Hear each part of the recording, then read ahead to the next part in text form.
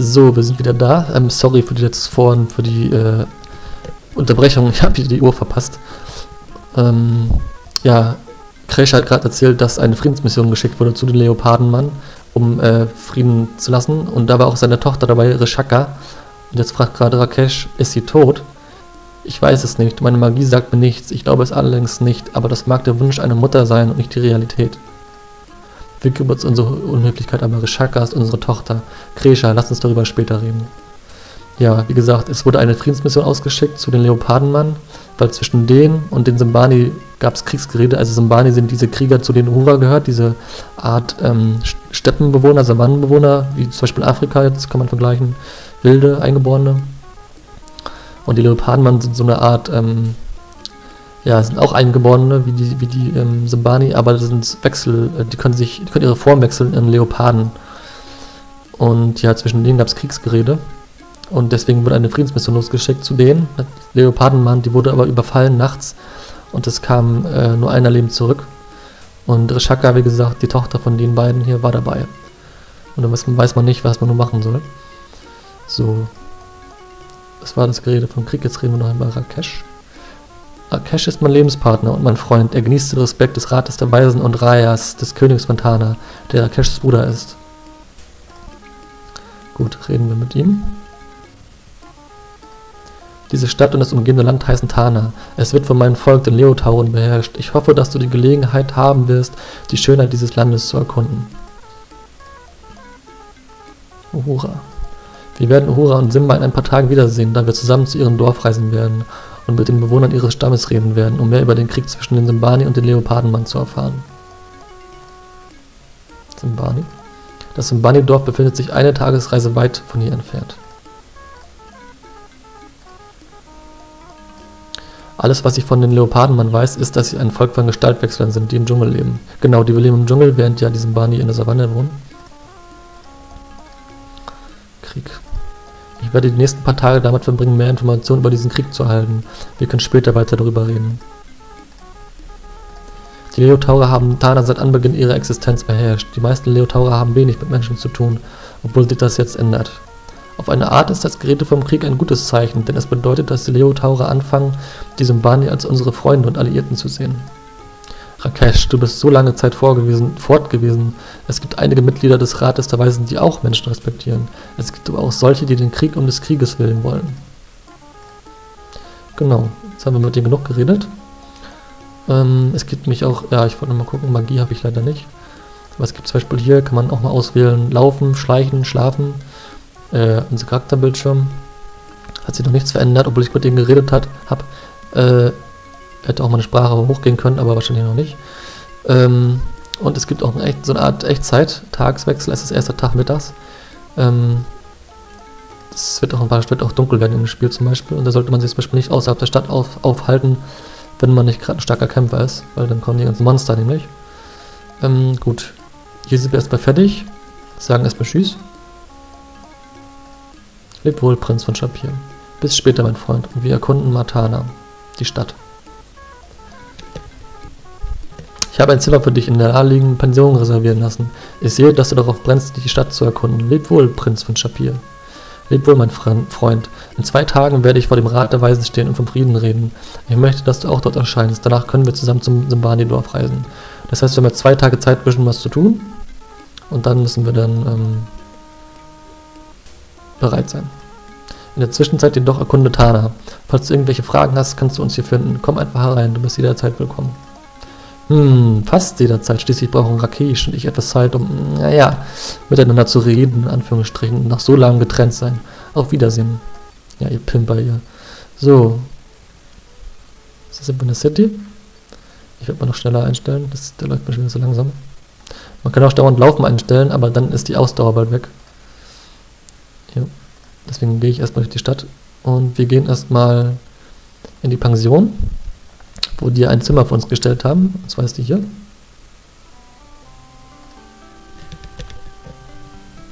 Habari Bana, Narak Said Effendi, willkommen in der, in der herzlich willkommen Pension, Sohn des Sultans. Ich bin die Empfangsdame. Kresha, die Mutter der Magie, hat hier ein Zimmer für dich reservieren lassen. Es ist die erste Tür rechts, wenn du die Treppe hochkommst. Ich hoffe, es genügt deinen Ansprüchen. Ich muss jetzt wieder an die Arbeit, aber wenn du etwas essen möchtest, setz dich einfach an einen Tisch.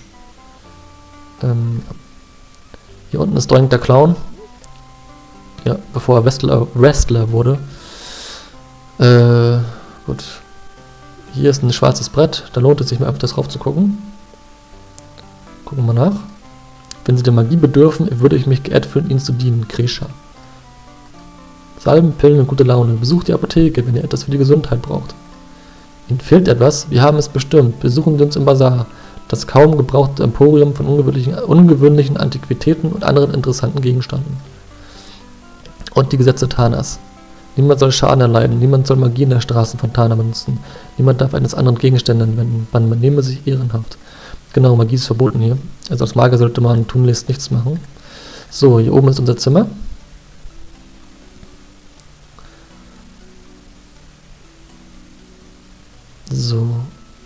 Hier kann man schlafen, wenn man darauf drückt. Wenn man das benutzt, kann man schlafen.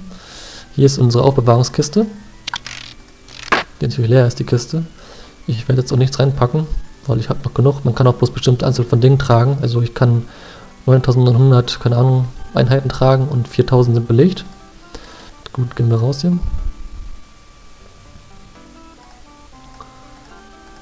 Na komm.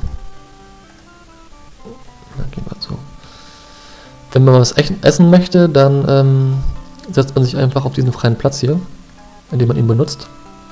Und dann kommt die Dame schon angewatschelt. So. Hallo Goldshop, was kann ich für dich tun? Jetzt begrüßen wir sie erstmal natürlich. Also wenn wir was sagen möchten, klicken wir auf uns einfach nur. Sagen Hallo. Du begrüßt die Empfangsdame. Mahabi, Effendi, du bist höchst willkommen hier, du, der dir so höflich bist. Also man muss das nicht so spielen, aber ich mache das gerne so auf ehrenhaft zu machen. Rede über Shapir. Du erzählst der Empfangsdame von deinen Abenteuern in Shapir. Du bist wahrhaftig ein Held, Friedenssuchender. Oh, ich kann auch bestimmt mit dir flirten. Du schmilzt mein Herz mit deinen Worten, du mit der talentierten Zunge. Wirst du in Handeln, in Handeln, im Handeln genauso geschickt wie mit Worten? Klar, so, genug von mir. Pension. Diese Pension ist zu allen Zeiten geöffnet, um dir zu Diensten zu sein. Oben wartet ein Zimmer auf dich. Zimmer?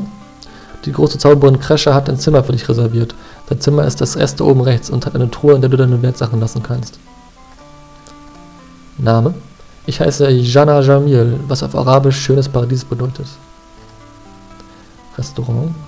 Wie in allen guten Pensionen in Tana hat auch diese eine sehr gute Küche. Sie ist von Sonnenaufgang bis Mitternacht geöffnet. Viele Bewohner der Stadt kommen auch zum Essen zu uns. Tana. Tana ist eine große Stadt und ein großes Königreich. Die Treppe führt äh, von diesem Plateau zum Bazar, auf dem viele Händler auf aller Herren Länder ihre Ware zum Kauf anbieten. Von der Treppe über uns aus kannst du den Eingang zum Richtersaal und zu den Gemächern des Königs sehen. Hoch über Tarn erhebt sich der Tempel des Sekhmet, in dem die Leotaura die große Göttin anbeten. Möge sie uns alle beschützen.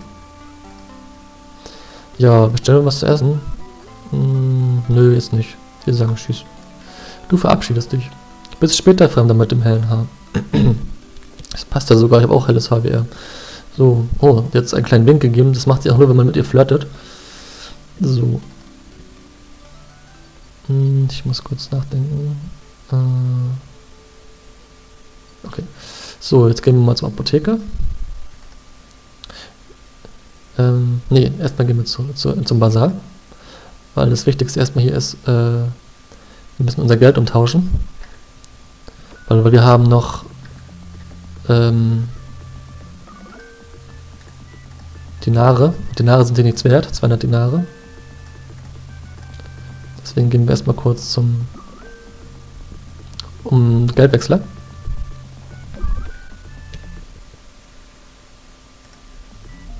Das war ein Fehler von mir. Du betritt, betrittst das Nordende des Bazars und wirst Zeuge einer Meinungsverschiedenheit. Was machst du da? Das darf man noch nicht. Haltet den Dieb! Hinterher. Ja,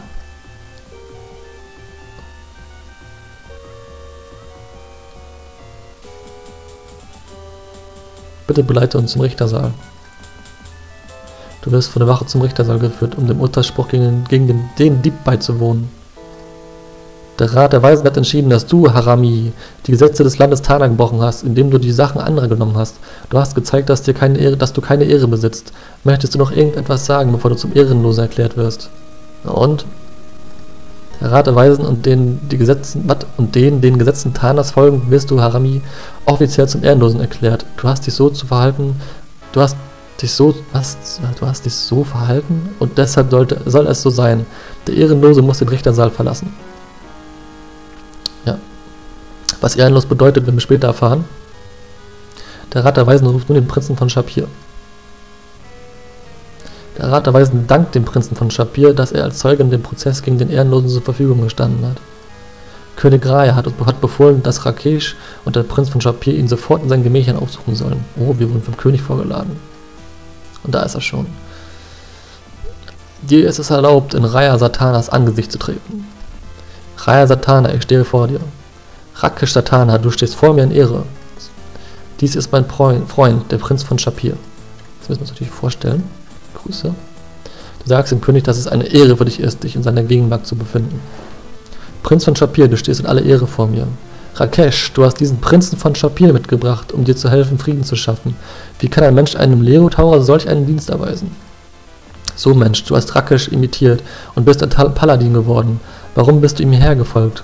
Glaubst du nicht, dass Rakesh Paladin genug ist, um die Situation in, in den Griff zu kriegen? Die Antworten natürlich.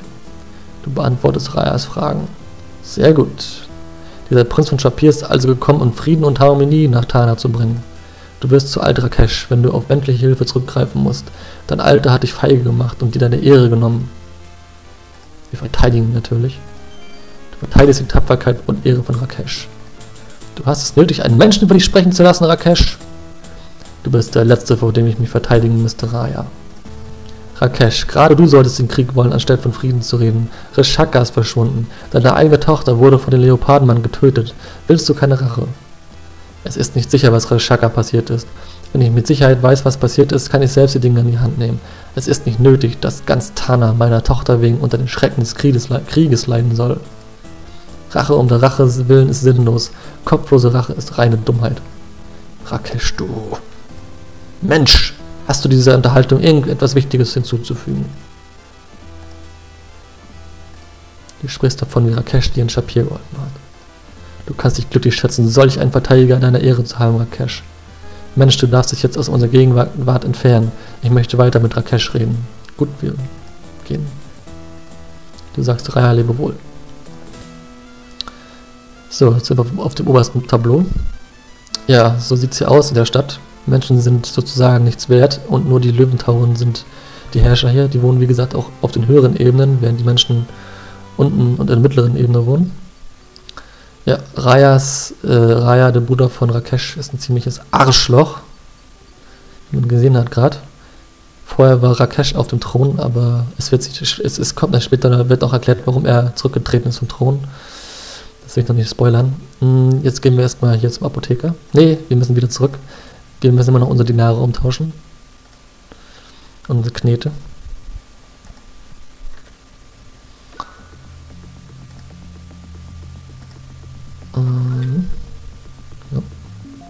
Und zwar geht das hier oben, wo geklaut wurde.